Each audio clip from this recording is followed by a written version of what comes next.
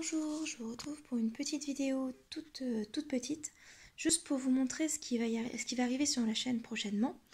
Donc d'abord, il y aura euh, la réalisation de cette attrape-rêve, donc en tutoriel.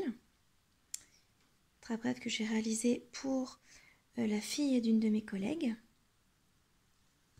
C'est la forme d'un arbre de vie avec des chipboards Scrap New Age. de la dentelle que j'ai trouvée sur Action, Action pardon, sur AliExpress. Et puis euh, celle-ci, c'était à Créatitude.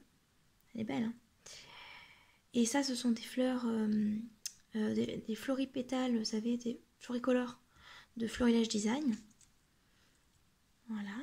Donc ça, ça sera en tutoriel. Le tutoriel dure à peu près 23 minutes. Je suis désolée, je suis branchée en même temps, donc c'est pas facile. Et donc en deuxième, donc pas mercredi, mais du coup dans 10 jours, vous aurez la, euh, le tutoriel pour réaliser cette page-là que euh, j'ai réalisé pour le, un défi de ah mince, euh, des scraps ou scrap des. J'ai toujours un doute. Hein, j'arrive jamais à me, souvenir. Voilà. Et je la trouve trop trop belle. Ça c'est ma, fille. Hein. Un enfant qui sourit, c'est une fleur qui s'ouvre. On est bien d'accord? Voilà. Et puis, je vais vous montrer quelque chose qui ne sera pas en vidéo, mais que j'ai réalisé récemment. Voilà, donc j'ai réalisé cette petite lanterne. Enfin, petite, tout est relatif. Hein. Voilà.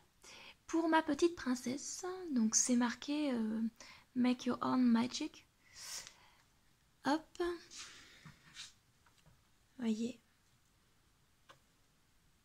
Je sais pas si vous allez voir correctement, je vais vous la la déplacer.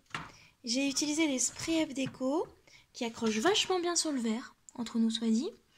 J'ai séché, ça pardon, au heat gun. J'ai utilisé le sépia avec l'or, le bronze et le doré. Et ça rend vachement bien. Donc toujours les, euh, fleurs Florilège Design. Des chipboards Scrap New Age. Euh, ça c'est des embellissements action. Voilà.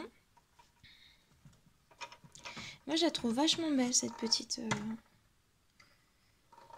cette petite lanterne. Avec des, euh, des, couleurs de saison, mais un peu plus euh, peps. Hein. Parce que ma fille a du, a du ressort. Hein. Comme toutes les petites de deux ans. Et ça, c'est aussi quelque chose que j'ai fait donc avec des, des chipboards et puis les papiers, les die de la collection d'automne de Scrap New Age. Un petit lampion. Si vous allez voir, j'ai utilisé toujours le spray déco. Toujours avec le même, euh, ouais, toujours le même, euh, le, même matériel. J'ai rempli ça avec des petites, euh, petites boules là d'action, parce qu'il fallait bien les mettre quelque part.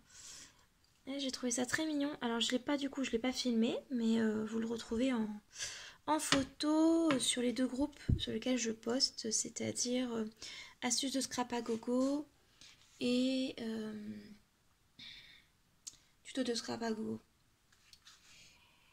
Et donc, euh, j'avais aussi réalisé récemment donc, ce, petit euh, cadre-là. Vous me voyez dedans, super.